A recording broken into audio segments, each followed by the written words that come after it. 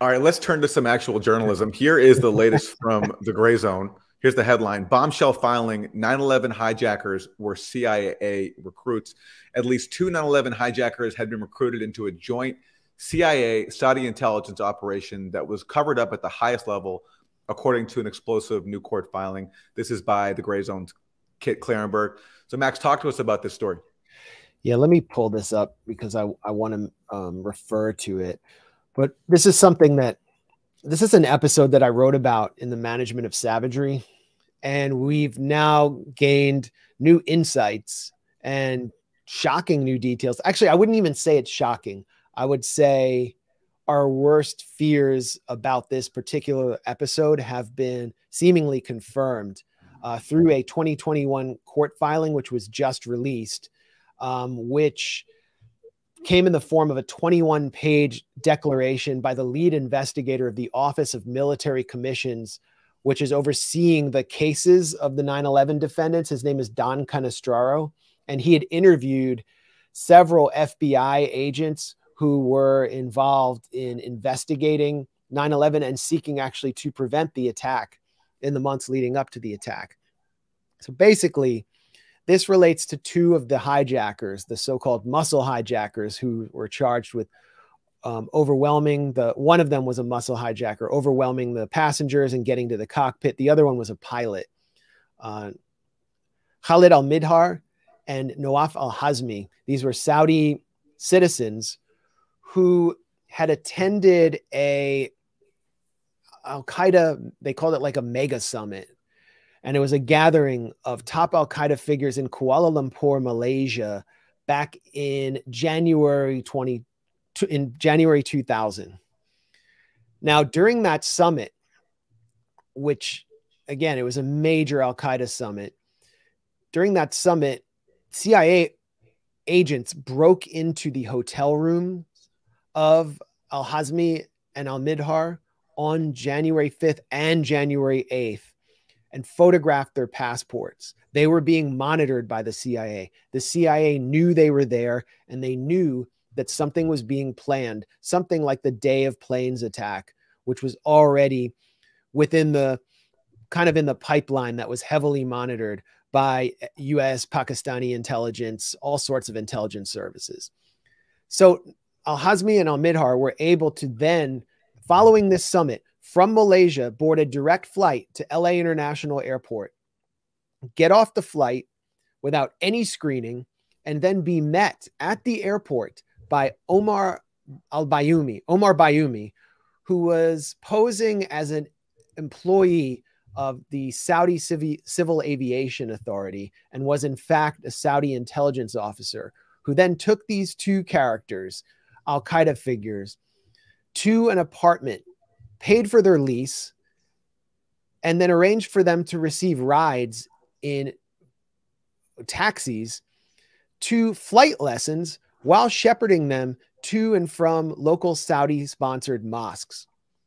This should have set off alarm bells everywhere, but the CIA refused to tell the FBI that they, these figures were in the country. The CIA was operating through a shady unit known as Alex Station, which had been set up in tandem with the FBI, but which operated outside the FBI's purview and was a essentially a black operation charged with the ability to recruit assets.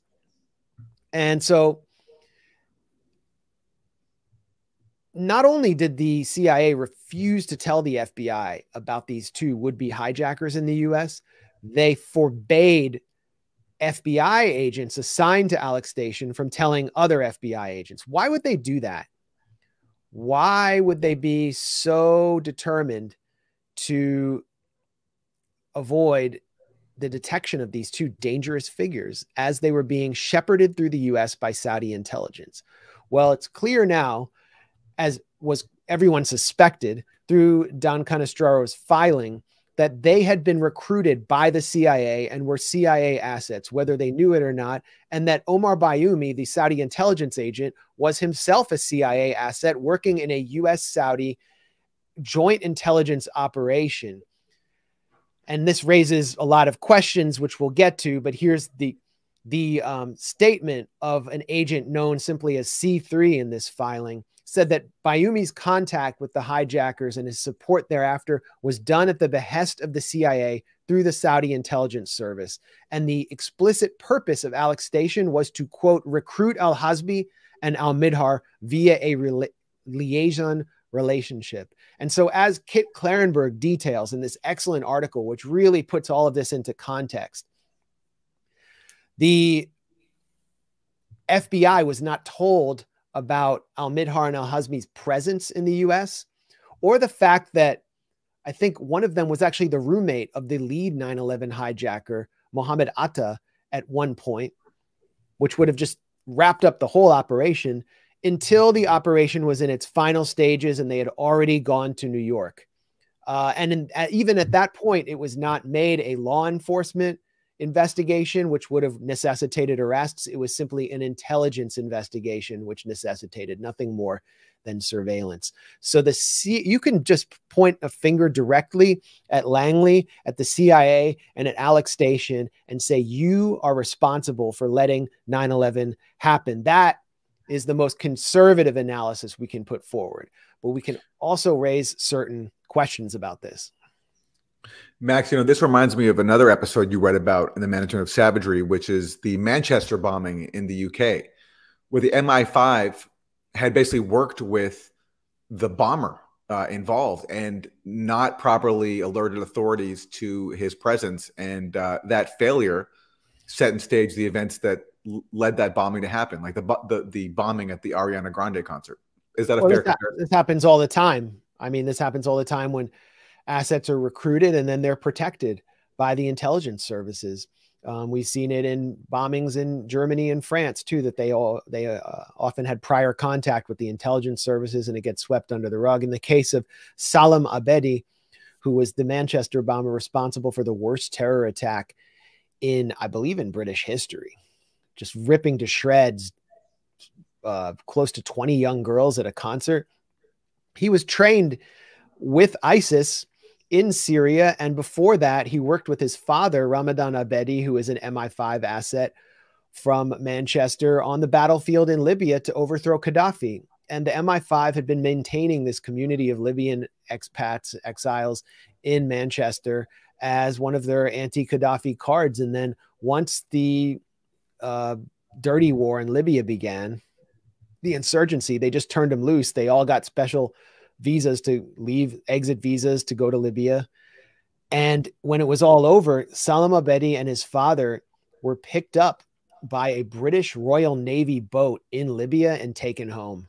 I mean, it was that clearly a British operation. And so, with those tactics and the ideology that he absorbed in Syria and Libya, he then went and targeted his own neighbors, his own countrymen. So, uh, we're going to have more on the Manchester bombing at the gray zone, but back to this this story. I mean, the, it was all covered up at the highest level uh, for years and years, and we were we're only getting these details now. And then the personnel who oversaw this operation at Alex Station were promoted, uh, including the uh, FBI the, the the the FBI person who was placed inside Alex Station, who did not tell other FBI personnel about Al Midhar and Al Hazmi's presence inside the U.S. Dina Corsi, she's been promoted. I think she's like the deputy director of counterintelligence for the FBI, and she was actually in touch with Pete Strzok during the whole Operation Crossfire Hurricane episode when this FBI unit was actually trying to stir up an investigation of Donald Trump over uh, Russian collusion. So she's still there. Then you have, yeah, de- she's deputy assistant director for intelligence. If you look at her LinkedIn page, and then um, you have um, the he- the the successor of the first head of Alex Station. The first head is named Richard Blee. His successor was Alfreda Frances Bikowsky um, who joined the CIA's operations division and was a really influential figure in the war on terror, as Kit Klarenberg writes. And he actually oversaw the quote unquote enhanced interrogations or torture of 9 11 suspects, which influenced heavily the Senate Intelligence Committee's report.